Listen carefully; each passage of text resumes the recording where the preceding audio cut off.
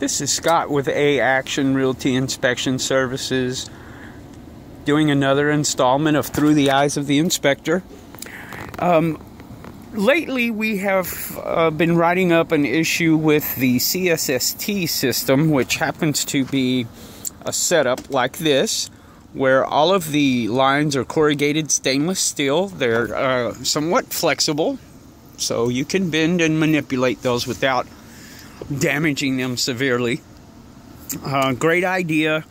However, we have recently discovered that these lines um, are needing to be grounded and or bonded back to the electrical system uh, in case of lightning strikes and things of that nature. And um, I've yet to see one actually uh, done this well, and so I figured I would go ahead and get a video of this.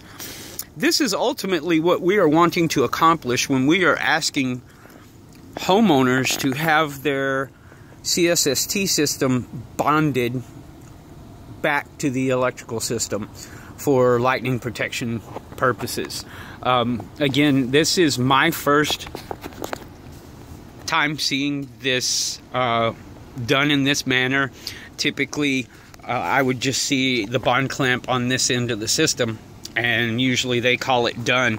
Uh, this ensures that each and, and every individual appliance that is being gas fired is bonded and it is ensuring it. Um, it's hard to see, but they're running feeder wires in here, sort of daisy chained uh, through the system uh, or through these lugs so that um, it all leads back to the main wire, which is then running to the electrical system uh, down below us here.